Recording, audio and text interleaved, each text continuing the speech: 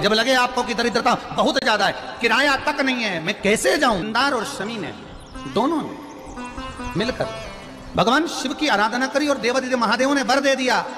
सुनो शमी और सुनो मंदार यदि कोई भूल से भी आपकी पत्ती आपका पुष्प मुझे समर्पित कर देगा सुनो मंदार सुनो शमी अगर कोई भूल से भी आपकी पत्ती आपका पुष्प मुझे समर्पित कर देगा उसे हज़ारों अश्वमेघ यज्ञ के स्नान का जो पुण्य होता है, वो एक क्षण में प्राप्त होगा हज़ारों अश्वमेघ यज्ञ का पुण्य, हज़ारों अश्वमेघ यज्ञ का पुण्य, एक क्षण में प्राप्त होगा ये मंदार, ये शमी। हज़ारों अश्वमेघ यज्ञ का पुण्य, एक साथ शमी की पत्ती देखिए आप लोगों ने? जम के तो बोले जरा। देखिए, मंदार पुष्प भी देखा हुआ है। अब शमी की जो पत्ती होती है, उस शमी की पत्ती को भगवान देवादित्य महादेव पर चढ़ाने का शमी की पत्ती जो होती है, उस शमी की पत्ती को चढ़ाने का एक नियम भी होता है। थोड़ा सावधानी से सुनना इस नियम को, जो आपके जीवन को सार्थक बना सकता है। शमी की पत्री को चढ़ाने का एक नियम है। बड़ा सुंदर नियम आपके जीवन में उतारने लायक। महाराज, जब सारा श्रृंगार मेरे देवादिदेव महादेव का हो जाए, बहुत ध्यान से सुनना, ये प्रसंग आया नहीं पहले।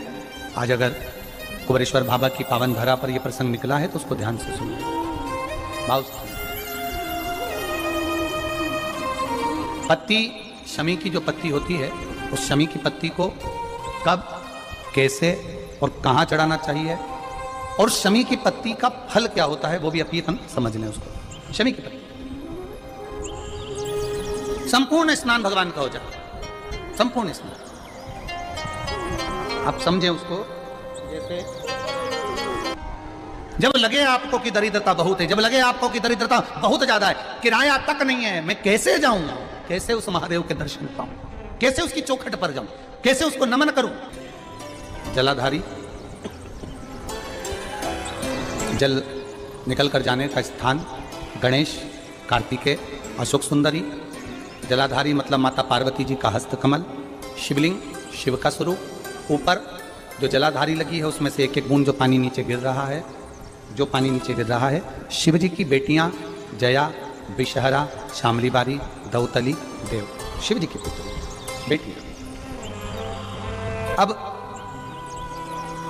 जब देवादिदेव महादेव को समी का पत्ता चढ़ाया जाता है, कब चढ़ाते हैं? जब आपने संपूर्ण जलाधारी को हाथ से साफ़ कर दिया हो, शिवलिंग पर जल चढ़ा दिया हो, शिवलिंग का पूरा श्रृंगार आपने कर दिया हो, संपूर्ण श्रृंगार मेरे देवादिदेव महादेव का हो गया, संपूर्ण श्रृंगार। बाबा को चंदन का लेपन अभीर गुलाल, अक्षत, बेलपत्र, धतूरा, जो भी तुम्हें चढ़ाना है, सब कुछ तुमने चढ़ा दिया। सारा श्रृंगार मेरे देवादिदेव महादेव का हो गया।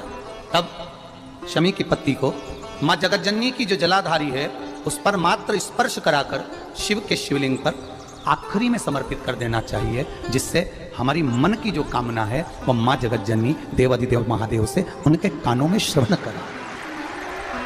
शमी पत्र का, एक एक बात और स्मरण में रहे, शमी पत्र की। बहुत, एक बात और अपने स्मरण में लीजिएगा, शमी पत्र।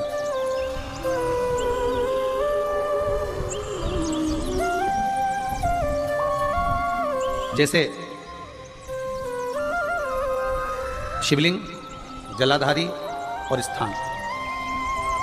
जब बहुत ज़्यादा मात्रा में दरिद्रता होती है, बहुत ज़्यादा मात्रा में बहुत कष्टमय जीवन, जैसे एक बहन ने अपने पत्र में लिखा है कि मैं हरियाणा साइड से आई हूँ, उन्होंने अपने पत्र में लिखा है, मेरे को मेरे टिकट करवाने का भी मेरे पास पैसा नहीं था। जिसने लिखा है, अगर वो बेटी हो तो खड़ी भी हो सकती कि मेरे पास टिकट कराने का भी पैसा नहीं था और मैं, मेरे पास में कोई धन दौलत इतनी भी नहीं कि मैं आऊँ। मेरे मायके वालों ने मेरी भक्ति को देखकर कि कोई उनके पद परिचित जा रहे थे तो उनका टिकट कैंसिल हुआ तो मुझे यहाँ पर भेजा। मैं यहाँ। अब, जब आपको लगता है कि इतनी दरिद्रता जीवन में है इतना, और ऐसा नहीं है, मनुष्य के जीवन में बहुत सुख दुख तो चलता रहता है। मानव का देह है, ये तो चलना है, जीवन पर्यान चलना है, सुख दुख चलेगा। यश अपयश चलेगा। लगे तुमको कि हाँ और आप सबसे निवेदन करना चाहूँगा, आपका मन है कि सीहोर आए, आपका मन है कुबेरेश्वर धाम आए, आपका चित्त है, आपका मन है कि हमें कुबेरेश्वर बाबा के धाम पहुँचना है, सीहोर पहुँचना है, माँ सीवन के तट पर पहुँचना है, सिद्धपुर नगर सीहोर की एक एक कंकड़ का दर्शन करना है 108 शिवालय का स्मरण करना है, चिंतामन गणेश और श्री हनुमान फाटक का, खेड़ापति सरकार का मन कामेश्वर का दर्शन करना है, भूतेश्वर का दर्शन करना है, कुबरेश्वर का दर्शन करना है। जब तुम्हारी चित्त वृत्ति में आए जब तुम्हारे मन में धन भी नहीं है पैसा भी नहीं है। बहुत दरिद्रता का जीवन है। बहुत दुखी जीवन तब बेलपत्र और शमी पत्र का प्रयोग ज़रूर कर कर, करके देखना। प्रैक्टिकल करने में कुछ नहीं जाता। प्रैक्टिकल करने में क्या जाता करके देखना। उस समय पर से वो कहते हैं ना कि कोई कहने वाला कह दे कि महाराज जी वो एक महाराज प्रवचन दे रहे थे और प्रवचन में देते देते देते देते किसी ने महाराज जी प्रवचन दे रहे थे कि मदिरा का पान नहीं करना चाहिए, नहीं पीना चाहिए, गलत है, नाली में पड़ा होता है, व्यसन में पड़ा होता है, ऐसा पान ना करो।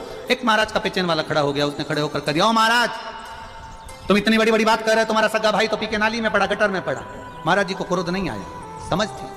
महाराज जी ने कहा, भैया, देख, मैं भी प्रवचन दे रहा हूँ, मेरा भाई भी प्रवचन दे रहा है। मैं मुँह से समझा रहा हूँ कि पीकर लोग नाली में गिरते हैं, गटर में पीट गिरते हैं। मेरा भाई प्रैक्टिकल करके दिखा रहा है कि मत पिया। मत पी प्रैक्टिकल वाली बात है। शमी पत्र बेलपत्र का एक बार जीवन में प्रैक्टिकल कर कर देखना। प्रैक्टिकल करना।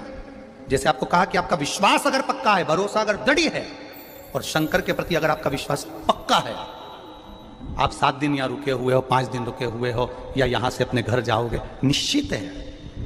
वो रुद्राक्ष कहीं से भी आए, कैसे भी आए, तुम्हारे पास बहुत ज़रूर जाएगा। निश्चित है। और ये कहीं से भी, कैसे भी, किस रूप में आए, कहाँ से आए, क्या करे वो वो उसके ऊपर है। देगा। विश्वास लेकर आयो, भरोसा है, दृढ़ता है। उस बच्चे ने बोर्ड परीक्षा दी परीक्षा देकर उसने नौकरी का लगाया नौकरी का लगाया विद्युत विभाग में लगा विद्युत विभाग में मेरे महादेव को हो सकता है नहीं समझ आई होगी तो रेलवे में लगा। विश्वास। भरोसा दृढ़ होना चाहिए। दो चीज़ें हमारी शिव महापुराण की कथा कहती है एक अपना कर्म करना मत भूलो मेहनत करना मत भूलो और दूसरा महादेव पर विश्वास करना मत भूलो। ये शिव महापुराण। कर्म करना मत भूलो मेहनत करो दिल से करो।